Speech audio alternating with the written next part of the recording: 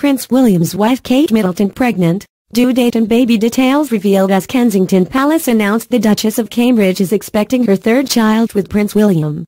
Kate Middleton and Prince William are set to welcome their third child after Kensington Palace announced their big baby news.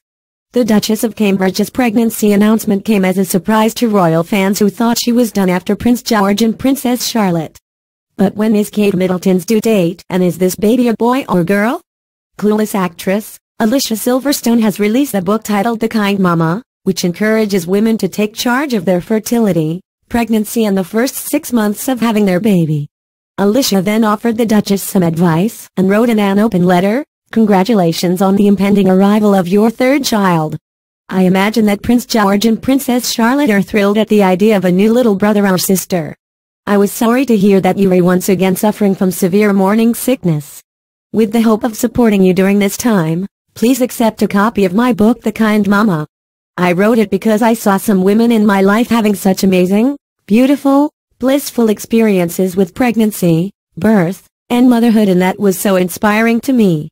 This was in stark contrast to what we've come to accept as normal, having a hard time with fertility, suffering through pregnancies full of ailments, suffering through less than ideal deliveries, and the list goes on.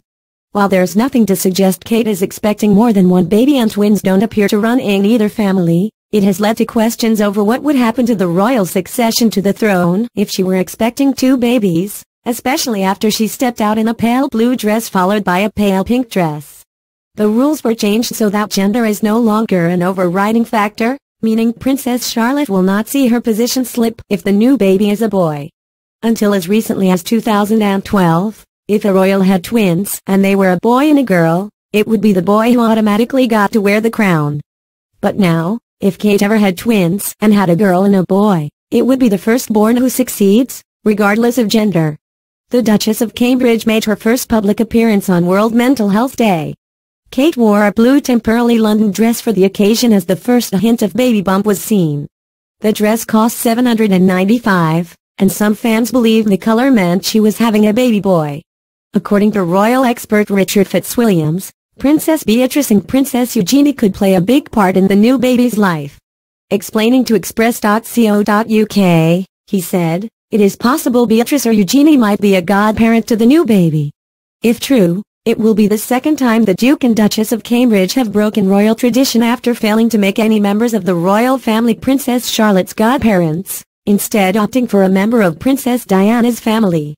Since announcing Kate Middleton's pregnancy, the adorable royal family have kept out of the public eye as she recovers from her serious morning sickness.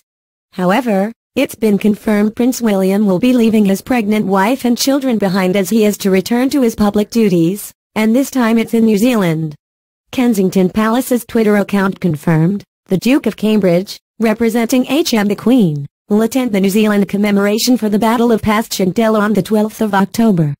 Kate Middleton's husband attended a charity reception and awards ceremony for the Metropolitan and City Police Orphans Fund, where he chatted to Iris Sorrell, 98, about the Duchess' pregnancy.